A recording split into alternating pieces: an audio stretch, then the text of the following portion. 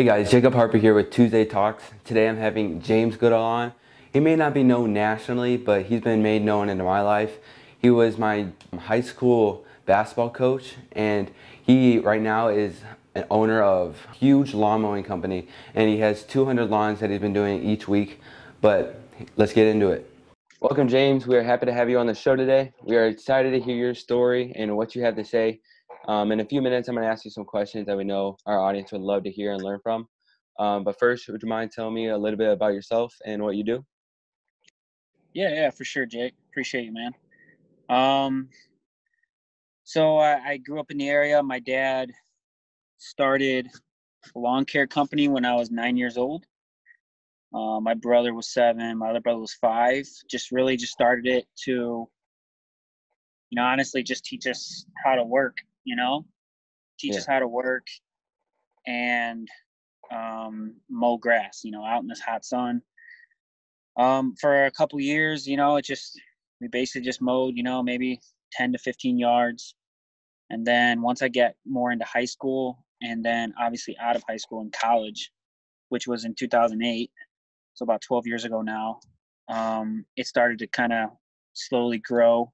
And then when I got out of college, um, I, I, was able to more focus on it and like spend more time. So, you know, it start, you know, it doubled and then it kind of got bigger. And then yeah.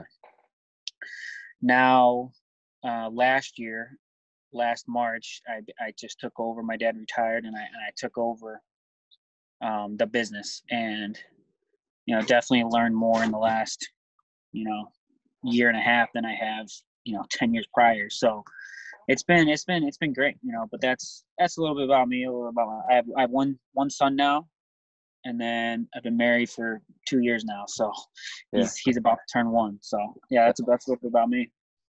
Um, how many lawns are you doing now? Um, so now we're on a regular basis. You know, doing about 220. You know, 230. Wow. We we start we're, we're more we're more focusing on individual properties now. We used to do like you know subdivisions. So we would have like a an hoa that has you know 100 yards in it. We had we had three or four of those. Mm-hmm. but over the last couple years we've kind of been dropping them because we really want to focus on the individual. Yeah. and and so it's it's all the same. We have one subdivision still um, and then we mow our you know our church's cemetery but it's a smaller cemetery that's a smaller subdivision. So we really don't have very many of those anymore. So now we get we do about 220, 230 yards, and we've we've grown in the last year. So yeah, it's been good. That's cool. Yeah. Um, so we're just gonna jump into the questions. So first question is, um, did you always know you wanted to be an entrepreneur? Mm. So I know you said your dad your dad started it, but like, did you know that you were you were gonna take it over? Um, I don't know if I yeah, I don't know. That's a good question. I don't know if I if I always knew I was going to be an entrepreneur. Okay. You know, you know, I, I didn't know if I wanted to to work for somebody, you know, um, or anything like that. But I feel like definitely once I got once I got out of high school, I'm like, I don't know if I could because I would work I would work for people, you know, regular kind of that quote unquote normal job, yeah, like they do question in quotation marks, um, in, in college, and I and I really realized real quick that I really didn't want to do that. Mm-hmm. Um, nothing against it, but I just personally didn't want to do it. Um, so I think definitely out of right out of got when I got out of high school, I realized I, I didn't really want to work for anybody. I wanted to kind of go on my own. Um, obviously, I worked for my dad for six or seven years after that, but I knew I kind of knew I was either going to take it over or do something on my own. Yeah. All right. Yeah. Um, if you could go back to 16 year old you and give him some advice, what would it be? I would tell him to work out. no, no. I mean, that's true. I would have. So I didn't start working. I play basketball, you know, but I didn't start working out till I was my as my, my senior year ended. Yeah. Basketball, and I started working out the week, the, like the month after. So I would have told him work out because I would have been better at basketball. But advice, I mean, I would definitely tell him to read more myself. You know, any 16 year old. I, I, you know, I mean, I would have required books to read it in school for a, a, book report or something and you know i don't even know if i read them you know yeah. but I, I i don't think i read a book i mean i remember reading one book i remember one in high school that I read that I really enjoyed, but besides that, maybe one. But books have really, you know, completely changed, you know, my knowledge for one, but my outlook. So I would tell them to read more. But yeah. that's that that's what I would tell them for sure. Yeah, I started reading. I started reading a lot more like when I was like 18, and it's like it helps me change my mindset and like like getting a job, like being a, sort of like an entrepreneur. But yeah. yeah, reading books are like definitely number one thing to do. Huge, and honestly, I mean, I was talking to uh I was talking to John Woosley. Yeah. Um, a couple like a week ago, and I was telling him, you know, like, dude, like honestly, I haven't, I didn't even start reading books on a normal basis till two years ago, and. Yeah and it blows my mind how I how I didn't. You know, I, how could I not spend? There's so many good books out there. I, I didn't even focus on that. So I would definitely tell him, 16 or 26 year old me, you know, dude, you got to read. You know, so yeah, that's huge. So who who are your top three mentors, and why why are they your top three? Top three mentors. Um, I mean, my dad, obviously, you know, my dad. I he taught me how to work. I mean, I think that's a lot of people, but he taught me how to work and really, really showed me, uh, like as an entrepreneur, sometimes the jobs, you can't really put a time on it. You know, it's not from eight to four, you know, or nine to five. Sometimes it's, it's 16 hours. Sometimes when it snows, you got to work through the night, you know? So he taught me that, you know, a lot of times the job's not over until it's over. The hard work. So my dad for sure, um, Todd Weber, you know, really a mentor and, and really a hero of mine you know, really when I was in junior high, I really connected with him. Mm-hmm. Really, he he showed me how not not really I really didn't really need to teach me anything. Like he sat me down and taught me stuff, but just watching him, how he handled himself, how he how he enjoyed life. You know, he just loved life and around the kids, around the junior hires and high schoolers, how he was just a normal guy. Yeah. As well, being Christian and everything. So he was just a normal guy. So definitely Todd Weber, mentor, and then obviously Mr. Woosley. James Woosley. He was my junior high basketball coach. You know, I've been coaching with him for seven, eight years now. You know, I, I think those two guys for sure I look up to, and you know they've they've helped me on my adult journey. You know, I ask them I ask them questions all the time, or Mr. Woosley and then Mr. Weber. You know, we'll, we'll keep in contact, but those two, those three, you know, my dad, Todd Weber, and then and then Mr. Woosley. Yeah. Um, but yeah, those guys for sure. Yeah, brother Woosley makes my list there too. Yeah, yeah. All right. He's helped me a lot, you know, for sure. Yeah. All right. So I just made up this question. I just found it. We, want to see how it works. But um, yeah. So what are you doing if we finish this interview and you find a lottery ticket on the ground, and um, you find out that you won ten million dollars? What are you gonna do with the money? Ten million dollars, man. Ten million dollars. I mean, I mean, I know half of it's going to taxes, but yeah, half it's going to taxes. The other half is going to my wife. No, I'm just kidding. Um, she'll take it all. No, ten million dollars. So, man, if I had ten million,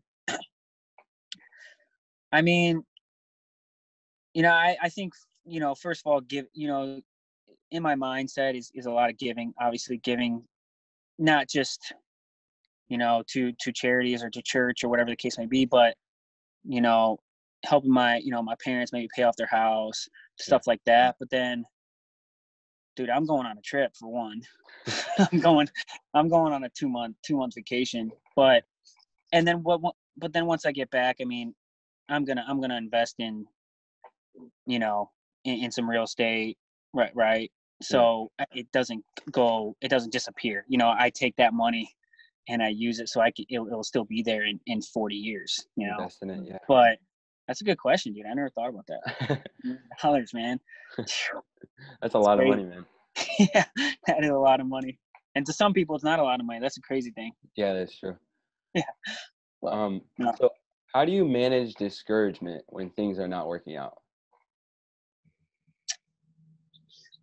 Um, I think, well, in business for me at least personally, like I've only been doing it for a year and a half, so yeah, discouragements and and, and the week doesn't go exactly right for me, so it, it's you know it, it's it's definitely happened in the last you know month you know? Yeah. So I, I, think for me it's definitely looking at the positives of my life obviously. You know i have i have a great family you know i have a great uh, healthy son healthy wife you know, I, ha- I have a great life, but then also looking at my long term goals.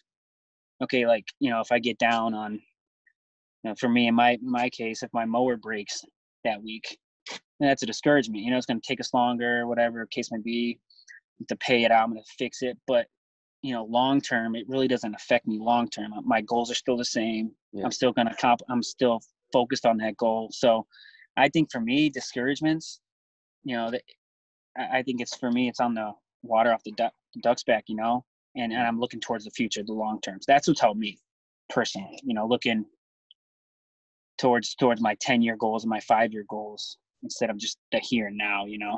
So you just look towards the future and see how you're gonna help others and like how you're yeah. gonna get through it. Yeah. All yeah, right. for sure. So talking about long term goals, um, so what are some of your long term goals? Long term goals. Um, I have a list of them. You know, I have a list of, uh, especially for business, for personal. Yeah. All that. I, I think number one on my list. Me and my wife, we have a bucket list.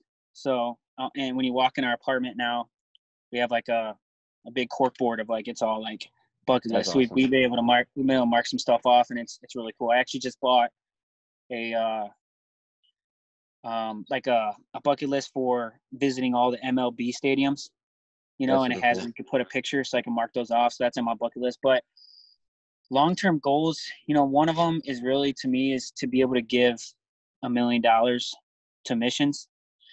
And you know, I, I really don't know if that's that's capable. I I, I believe it is, but uh, you know, that's one of my long term goals is, is giving a million dollars away in my lifetime, but then also a hundred thousand dollars in one year. Um, that's giving goals, and that's like on the top of my list, man. top of my list is is that um, long term goals for the business. Um, for it to be just going without me, like you know, if you ever heard yeah. of the you know the statement, you know, you step into the owner spot. Yeah, yeah, and you were getting if I were to get hit by an elephant, the business would be the same, you know.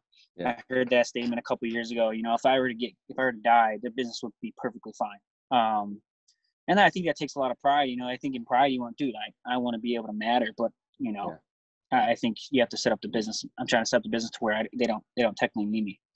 Um, long-term goal though, I think that the giving honestly is, is huge. You know, I, I think for me, the only reason why you know why make a ton of money if i'm not going to give it away you know is is i don't need you know personally don't need a ton of money to survive to live so yeah, that that's definitely a goal. Yeah. All right so I, I know i've asked you some hard questions but this is probably the hardest question. Um if you could pick any superpower what would it be